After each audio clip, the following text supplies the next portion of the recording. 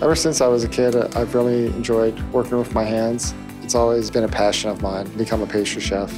I was coming home from work one night. A taxi hit me from behind. After the accident, wasn't sure if I could ever work again. I did a search through the internet for personal injury lawyers. Met with Joe Benson. He was really concerned with my health and well-being. He really cared making sure I was healthy again. Benson and Bingham. Real results.